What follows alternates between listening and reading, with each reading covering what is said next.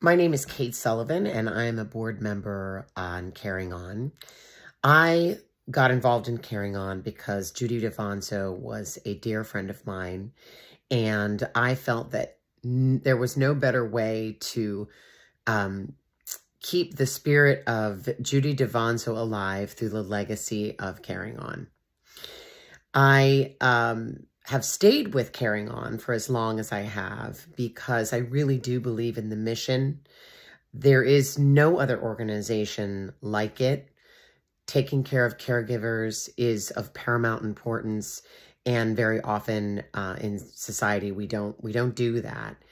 Um, additionally, I really love the idea that those that are being cared for are given an opportunity to care for the ones that are caring for them. So it's been an incredible experience to be a part of this organization for as long as I have. And giving a gift, there's nothing like it.